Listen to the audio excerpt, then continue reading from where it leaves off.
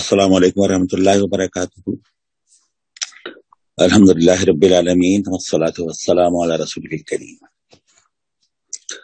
औज़ु बिल्लाहि मिनश शैतानिर रजीम बिस्मिल्लाहिर रहमानिर रहीम जो बर सगीर जनूबी एशिया है, जिसे आसानी के लिए हिंदुस्तान कह दिया जाता है, वो एक बर आज़म की तरह है। बहुत से मुल्कों का मजमुआ, बहुत से बहुत सी जबानों, बहुत से मजहबों, बहुत सी कौमियतों या कौमों का घर है ये।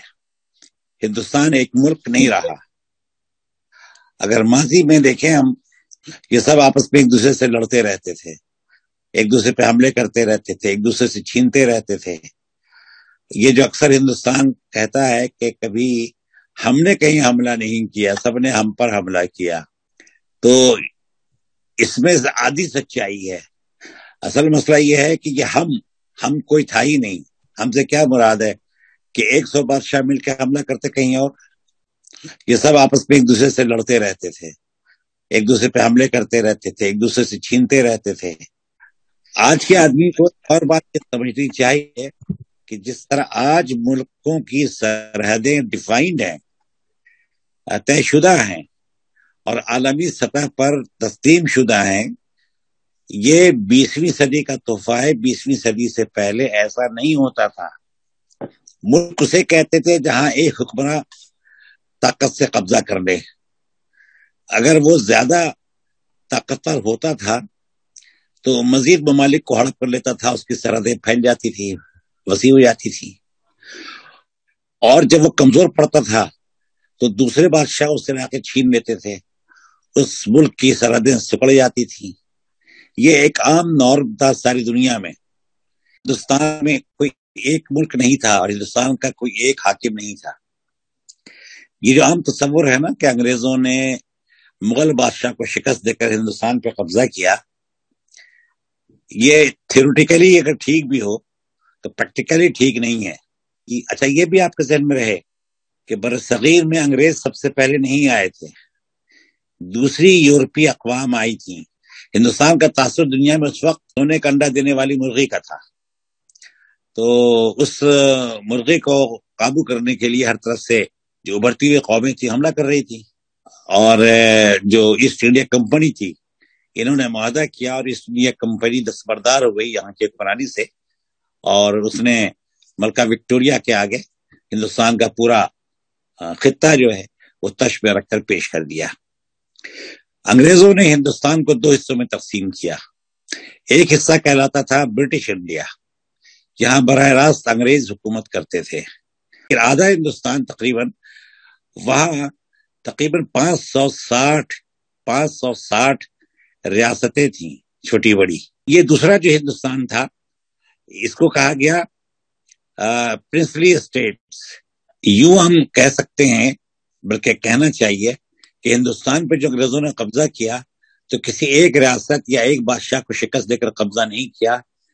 अमेरिका ने इन पर दबाव डाला कि आप अपने अपने महबूजात छोड़ दीजिए, आज़ादी फराहम कीजिए, कौमों को आज़ाद कीजिए, मुल्कों को आज़ाद कीजिए। लेकिन अमेरिका का दबाव इन यूरोपीय अकवाम पर खासतौर पर अंग्रेज़ों पे था, क्योंकि ये सब मकरूज हो गए थे अमेरिका के। इन्होंने मार्शल प्लान के तहत अपनी बहाली के लिए करोड़ों डॉलर अमेरिका से कर्ज लिए थे। दूसरा मुहर्रिक ज़ाहिर का ये था कि ये कौमें पीछे हटेंगी, ये ताकतें पीछे हटेंगी तो उसकी जगह अमरीका लेगा ये तो बरसगीर की मिलत इस्लामिया की जिद्दोजहद थी कि जिन्होंने कहा कि नहीं, हम एक पुश्तरका हिंदुस्तान में नहीं रहेंगे, एक मुल्क अभी था भी नहीं, हमारा नज़रिया भी अलग है, मज़हब भी अलग है, कल्चर भी अलग है, और हम साथ खाना नहीं खा सकते, शादी ब्याह नहीं कर सकते। चाहे दीवार से दीवार मिली हुई हो। तो इतना फ़र्क है कि हम एक साथ नहीं रह सकते।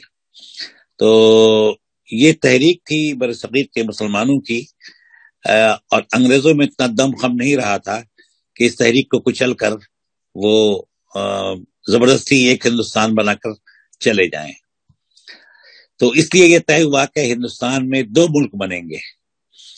एक और बात जो आमतौर पर इस्तेमाल हिंदुस्तान का बंटवारा कहा जाता है, ये दुरुस्त नहीं है, बल्कि बर सगीर में, जनूबी एशिया में दो नए मुल्क बने।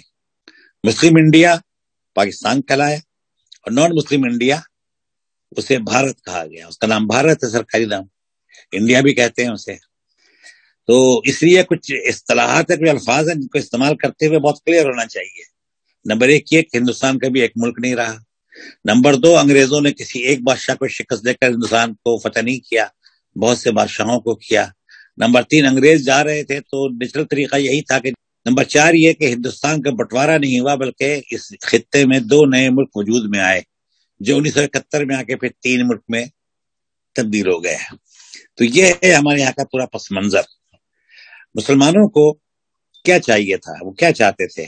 मुसलमान की फितरत में है कि वो एक अपने अलग बने हुए निज़ाम के तहत ज़िंदगी गुजारे। आपकी जो मीरास है उनमें सिर्फ़ कुरान सुन्नत नहीं है बल्कि उनमें एक मुनज़म मज़बूत रियासत भी है एक निज़ाम भी है। ये सब आ, अलग अलग नस्लें अलग अलग जबान और अलग अलग पस मंजर रखने वाले लोग थे।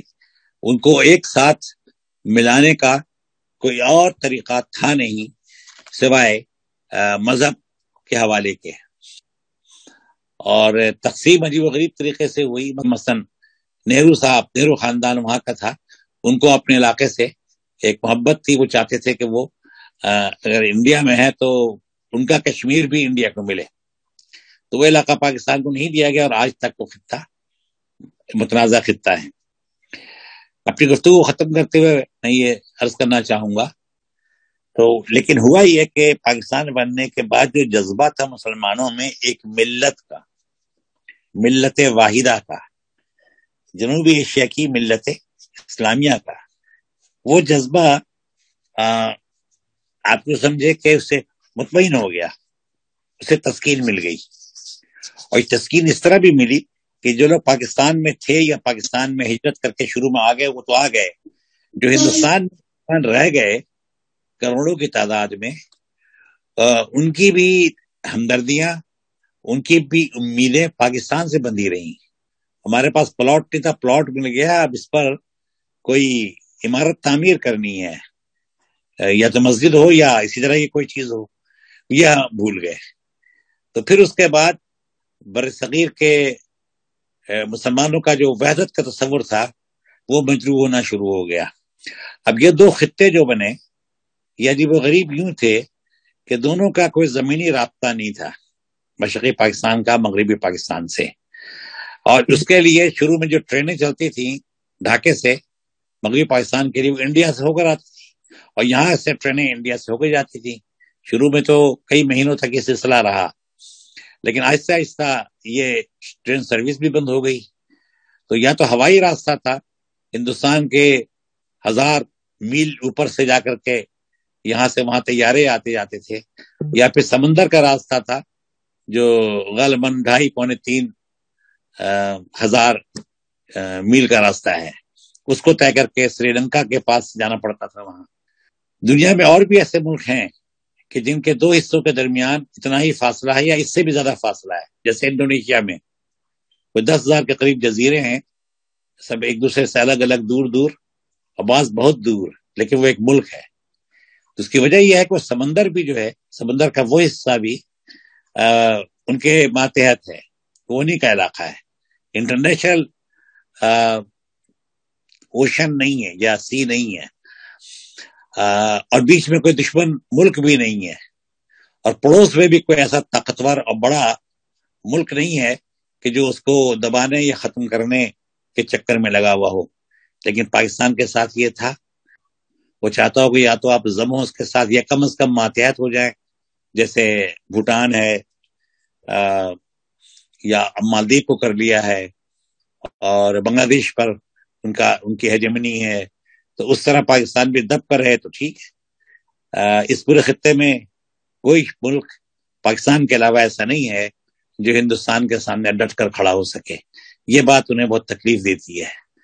लेकिन ये तारीख का एक अहम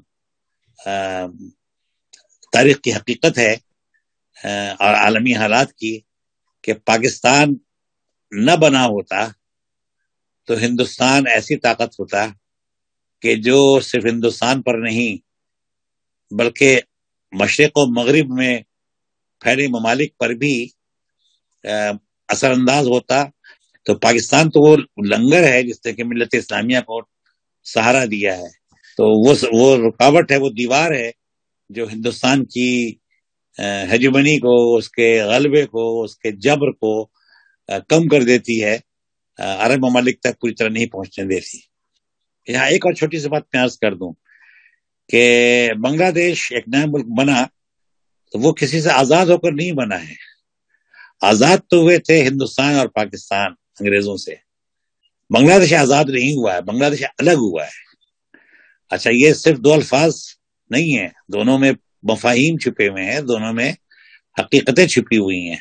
आज़ाद तो वो होता है जो गुलाम हो, जिसको गुलाम बना लिया गया हो खरीद कर या कब्जा करके, या बहला फुसला कर।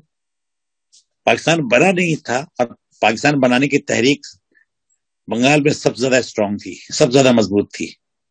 वो खुद शामिल हुए थे। हाँ हम साथ नहीं रह सके। ये कहा जा सकता है कि दो भाई साथ नहीं रह सके। उनमें समझौता ना हो सका। ताल्लुकात ठीक नहीं थे, तलखी पैदा हुई और एक भाई जो है, उसने अपने हिस्से को अलग कर लिया, दीवार खींच दी बड़े भाई के या दूसरे भाई के इलाके से। तो इस तरह से बांग्लादेश बन गया। तो बांग्लादेश अलग हुआ पाकिस्तान से। मेरी दुआ है कि बांग्लादेश को अल्लाह ताला आज़ाद भी करें। और वह एक आज़ाद मुल्क के तौर पर, एक आज़ाद कौम के तौर पर फले फूले और खुशहाल हो और आज़ादी की लज्जत को पूरी तरह से अवेल कर सकें, एंजॉय कर सकें। एक बात और कर दूँ। जो आखिरी इलेक्शन हुए मुतहदा हिंदुस्तान के, पहला भी था और आखिरी भी था, आम इंतखाब तो उसमें भी अवामी लीग का ये ऐलान नहीं था कि हम जीतेंगे तो मगरबी पाकिस्तान से अलग हो जाएँगे या पाकिस्तान से अलग हो जाएँगे। उनके छह निकात में भी ये लिखा हुआ नहीं है। बल्कि शेख मुजीब साहब तो मुस्तकिल ये कहते रहे कि मेरे छह निकात से पाकिस्तान ज़्यादा मज़बूत होगा और सबके साथ इंसाफ होगा। और हम ज़्यादा तरक्की करेंगे। तो मशरकी पाकिस्तान के लोगों ने अगर अवामिल को वोट दिए तो पाकिस्तान से लादगी के लिए नहीं दिए सुबह खुद मुख्तारी के लिए दिया तो पाकिस्तान की मौजूदगी में भी कोई ससवाब या इलेक्शन ऐसा नहीं हुआ जिसमें कि आवाम से पूछा गया हो कि क्या मशरकी पाकिस्तान को बांग्लादेश बनाया जाए या पाकिस्तान में शामिल रहे। न उसके बाद ये उनसे पूछा गया कि हम अलग हो गए हैं तो अलग ही रहें या दोबारा से बातचीत करें कुछ। तो इसलिए ये अच्छा ये वो चीज़ें हैं जो कोई बयान नहीं करता। तो यूँ लगता है जैसे पूरे मशरकी पाकिस्तान की आबादी ने मुतफ़ा तौर पर यह तय किया कि पाकिस्तान से अलग होना है। ऐसा कोई वाक़ ज़रूर पजीर नहीं हुआ।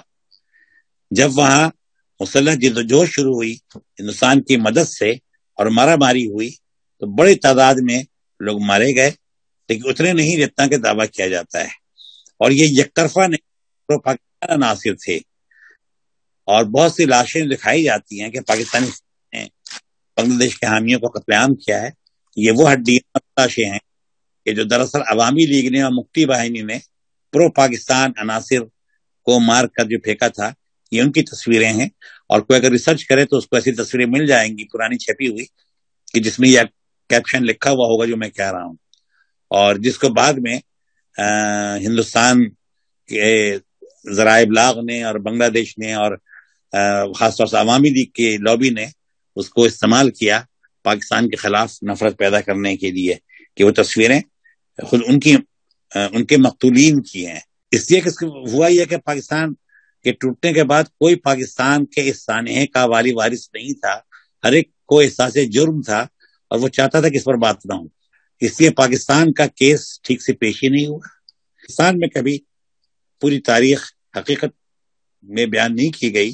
और यहाँ जो नरेटिव आता भी है आ, मीडिया में सोशल मीडिया में मीडिया में अखबार में वो शिकस्त खुर्दा जहनीत वाला है। अल्लाह तला से दुआ है कि वो मिलत इस्लामिया के हाल पे रहम फरमाए। मिलत इस्लामिया सारी दुनिया की मिलत इस्लामिया जनूबी एशिया की मिलत इस्लामिया पाकिस्तान की और मिलत इस्लामिया बांग्लादेश की इनके हाल पे रहम फरमाए। और इनमें इतिहाद इतफाक यकजहती कुत अमल और जो अपना दीनी मिशन है बसत उम्मत, उसका एहसास पैदा करें और उसके लिए कुछ बामाने और नतीजा खेज काम करने की तोफ़ी फरमाए। वाखुरदावान